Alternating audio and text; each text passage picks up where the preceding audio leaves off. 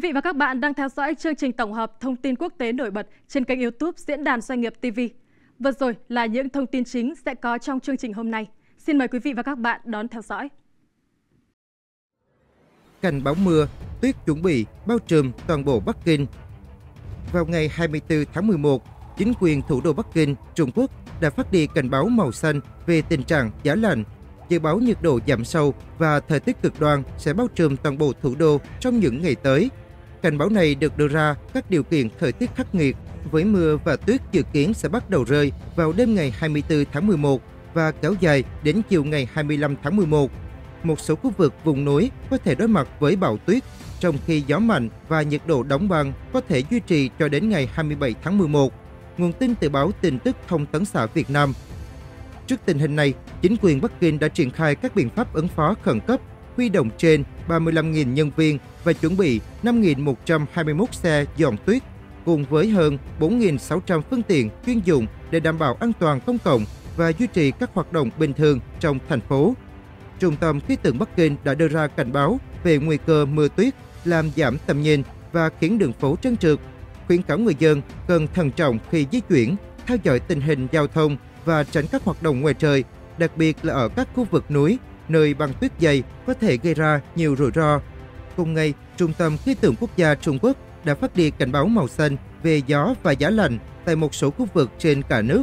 Hệ thống cảnh báo thời tiết của Trung Quốc có 4 cấp độ, từ mức nghiêm trọng nhất là màu đỏ, tiếp theo là màu cam, vàng và màu xanh, nhằm giúp người dân và các cơ quan chức năng chuẩn bị ứng phó với các hiện tượng thời tiết nguy hiểm.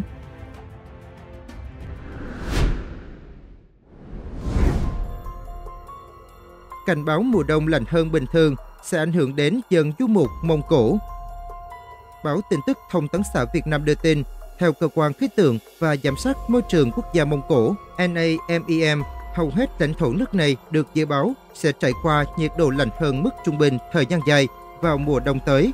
NAMEM cho biết, trong những tháng mùa đông sắp tới, hầu hết các khu vực của Mông Cổ, đặc biệt là ở phía đông đất nước, dự kiến sẽ trải qua nhiệt độ thấp hơn mức trung bình trong thời gian dài cùng với lượng mưa tăng.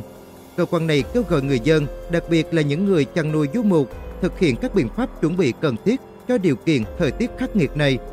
Mùa đông năm 2023, Mông Cổ đã phải đối mặt với điều kiện mùa đông khắc nghiệt được gọi là Deju, kèm theo lượng tuyết rơi kỷ lục kể từ năm 1975. Khoảng 90% lãnh thổ bị tuyết phủ dày tới 100 cm. Theo Văn phòng Thống kê Quốc gia, điều kiện thời tiết khắc nghiệt vào mùa đông năm ngoái đã khiến ít nhất 7 triệu 949.400 vật nuôi chết, chiếm hơn 10% tổng đàn vật nuôi của Mông Cổ. Deju là một thuật ngữ tiếng Mông Cổ dùng để mô tả mùa đông cực lạnh khi một số lượng lớn gia súc chết vì mặt đất đóng băng hoặc phủ đầy tuyết. Khí hậu Mông Cổ đặc trưng bởi ảnh hưởng mạnh mẽ của lục địa, có mùa đông dài và lạnh giá và mùa hè ngắn và ấm áp nhiệt độ khoảng âm 25 độ C được gọi là bình thường trong mùa đông.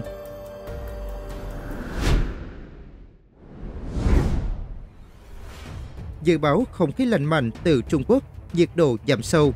Đợt không khí lạnh mạnh nhất từ đầu mùa khiến nhiệt độ giảm tới 16 độ, mang theo gió mạnh trong những ngày tới, ghi nhận thông tin từ báo Lao động. Tân Hoa Xã đưa tin, ngày 23 tháng 11, các cơ quan khí tượng Trung Quốc ban hành lại cảnh báo xanh về đợt không khí lạnh và gió mạnh, với nhiệt độ giảm sâu dự kiến tấn công một số khu vực của đất nước trong những ngày tới. Theo Trung tâm Khí tượng Quốc gia Trung Quốc, từ ngày 23 đến 28 tháng 11, nhiệt độ ở hầu hết các khu vực của Trung Quốc sẽ giảm từ 6 đến 10 độ C. Một số nơi ở phía Tây Bắc, phía Bắc và Đông Bắc Trung Quốc dự kiến nhiệt độ giảm từ 12 đến 14 độ C, một số khu vực lên tới 16 độ C. Trung tâm này cũng ban hành lại cảnh báo xanh về gió mạnh cho biết ngày 24 tháng 11, gió mạnh dự kiến sẽ tấn công một số khu vực ở khu tự trị dân tộc Duy Ngô, Nhị Tân Cương, khu tự trị Nội Mông, khu tự trị dân tộc Tây Tạng, các tỉnh Thanh Hải và Cam Túc, khu tự trị dân tộc Hội Ninh Hạ, vùng biển ngoài khơi phía đông Đài Loan, Trung Quốc và một số khu vực ở Biển Đông.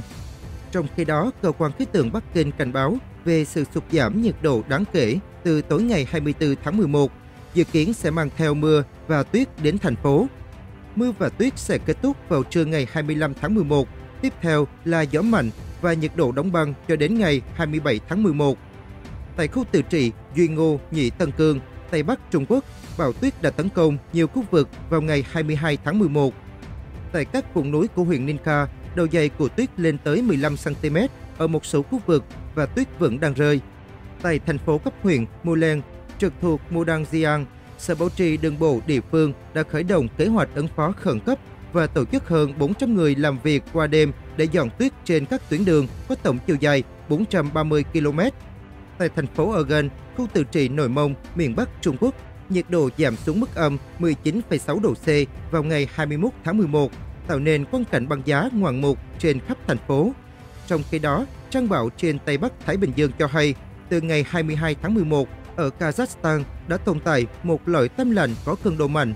Trong 1 đến 2 ngày tiếp theo, vùng lõi này mở rộng về phía đông và đạt cường độ mạnh nhất tại Siberia của Nga và Mông Cổ.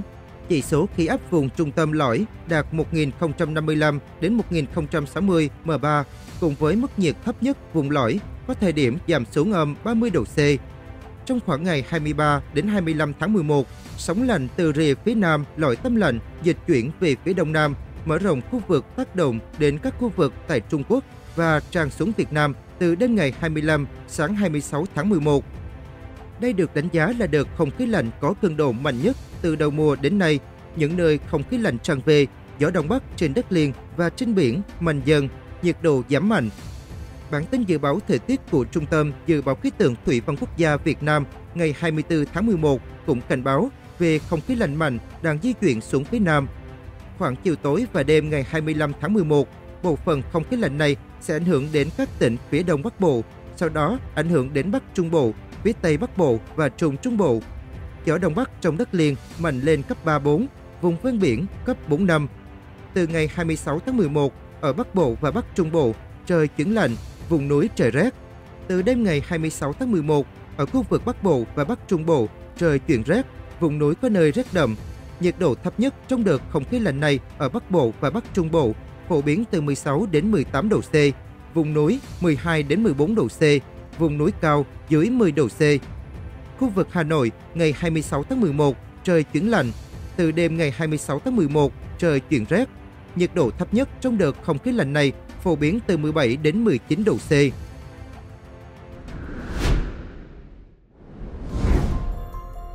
Sa mạc ở Trung Đông bất ngờ trắng xóa vì mưa tuyết chưa từng có. Vào ngày 3 tháng 11, báo Việt Nam Net đưa tin một hiện tượng khí hậu chưa từng có đã xảy ra tại sa mạc Anafos khi tuyết rơi và mưa lớn xuất hiện khiến cảnh quan khô cằn ở khu vực này chuyển thành một màu trắng xóa. Đây là lần đầu tiên tuyết rơi tại sa mạc này, điều mà nhiều người không tưởng tượng được do đặc trưng khô cằn và nóng bức của sa mạc. Theo thông tin từ Trung tâm Khí tượng Quốc gia các tiểu vương quốc Ả Rập Thống nhất UAE, hiện tượng này xảy ra khi áp thấp từ biển Ả Rập di chuyển tới Oman, gây ra giông bão và mưa đá không chỉ tại UAE mà còn tại các khu vực khác của Ả Rập Xê Út. Hình ảnh về sa mạc Anafus phủ đầy tuyết trắng đã nhanh chóng lan truyền trên các nền tảng mạng xã hội, thu hút sự chú ý của đông đảo du khách và người dân địa phương. Cảnh tượng tuyết rơi giữa những bồn cát vàng đã khiến khu vực này trở thành một điểm du lịch bất ngờ. Tuy nhiên, giới chức địa phương đã cảnh báo người dân và du khách cần thận trọng khi tham gia các hoạt động ngoài trời do sự bất thường của thời tiết. Các chuyên gia khí tượng giải thích rằng hiện tượng này là kết quả của các thay đổi khí hậu toàn cầu. Theo Ngân hàng Thế giới, Tây Á là một trong những khu vực dễ bị ảnh hưởng bởi biến đổi khí hậu, với những hiện tượng thời tiết cực đoan ngày càng gia tăng. Mặc dù nhiệt độ tại sa mạc Anafut sẽ sớm tăng trở lại, với thời điểm nhiệt độ có thể vượt quá 50 độ C, nhưng các hiện tượng khí hậu bất thường này đang trở thành một lời nhắc nhở rõ rệt về sự thay đổi đang diễn ra trên toàn cầu. Không chỉ sa mạc Anafut, thủ đô Riyadh của Ả Rập Xê Út cũng đang phải đối mặt với tình trạng mưa lớn và lũ lụt nghiêm trọng. Điều này cho thấy tác động của khí hậu không còn chỉ là một vấn đề lý thuyết mà đang ảnh hưởng trực tiếp đến các khu vực từng được xem là ổn định về khí hậu. Các quốc gia trong khu vực đang phải đối mặt với những thách thức lớn trong việc thích ứng với những thay đổi này, đồng thời tìm kiếm giải pháp giảm thiểu tác động của biến đổi khí hậu trong tương lai. Cảm ơn quý vị đã theo dõi chương trình và đừng quên đồng hành cùng chúng tôi trên kênh YouTube Diễn đàn Doanh nghiệp TV. Chúng tôi liên tục cập nhật thông tin mới ở các khung giờ để phục vụ quý vị. Xin kính chào và hẹn gặp quý vị trong những chương trình tiếp theo.